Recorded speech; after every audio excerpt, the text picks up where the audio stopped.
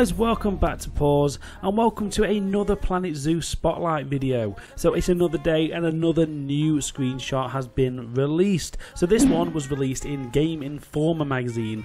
Um, I believe today, I think the magazine came out today or it's in the June 2019 issue. Um, so yeah, that came out very recently uh, and this screenshot is, is part of that article.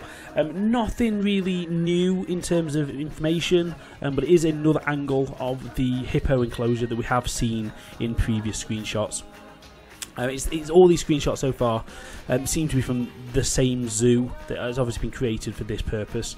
Um, but yeah, there's not much else to talk about in terms of new information, uh, but it's interesting to see a look around um, from a different angle. So the first thing that we'll talk about is over this direction over here. So as you can see, um, there's a quite a few different fence variants around this area. Um, we've got a sort of spine type looking point here, which to me seems like it kind of confirms the Jurassic World Evolution style of um, of fencing.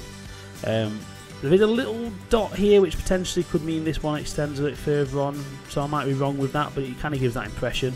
Um, the actual steps itself looks like it's got some kind of fence underneath. So that's quite a high fence here. Whether that's going to be part of the same spine system, I don't know. Um, some new type of lan lan lanterns on here. Um, again, I don't know if these are going to be connected to the fence or you can put these in sort of piece by piece. I'm not sure, but obviously only time will tell there. Um, towards the background over here, I can't quite work out what it is. It looks like it's maybe a small um, enclosure for something. Uh, it could be a shop, I'm not sure, but this is something which I'm not entirely 100% what that is, uh, but it's quite interesting to see this little area.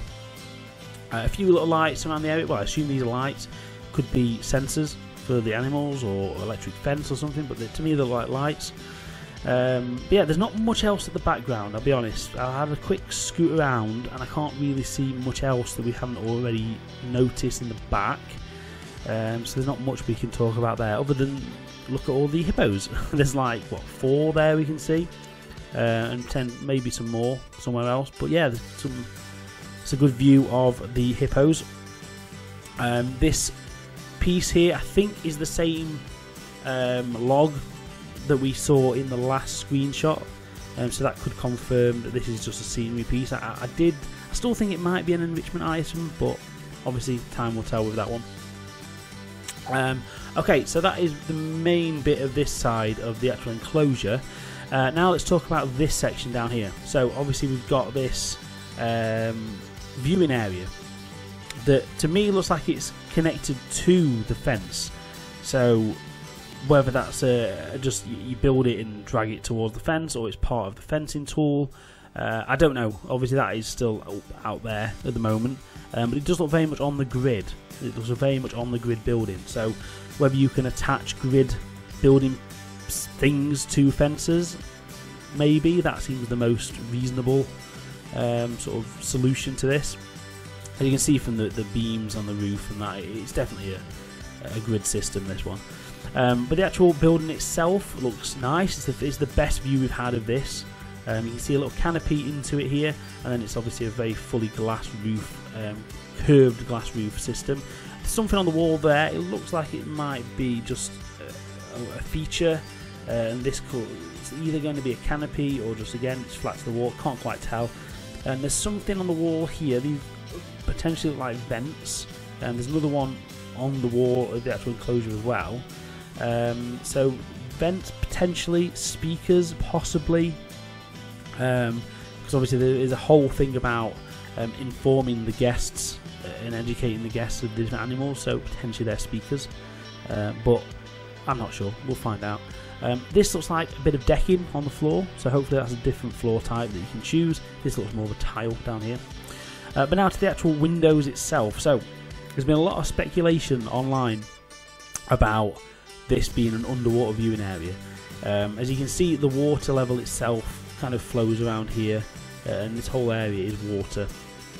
I'm not convinced. I, I, think the base of the water is actually the bottom of the uh, window just here. Um, so I don't personally think this is a underwater viewing area, as, as I've seen a lot of people mention.